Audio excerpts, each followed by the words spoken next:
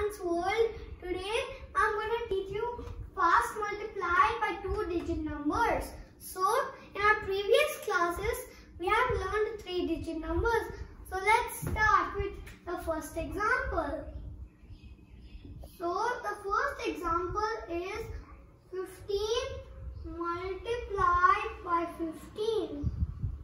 So 1 plus 1 that is 2 we know and we have to multiply 2 multiplied by 1. So that is 2 and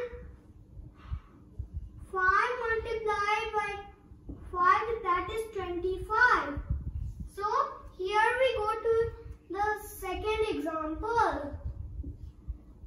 So the second example is 25 multiplied by 25. So 2 plus 1 is 3. So we have to multiply 3 multiplied by 2. So that is 6. And 5 multiplied by 5 is 25. So this is the answer. So now we're going to the third question. So third question is 55 multiplied by 55 equals.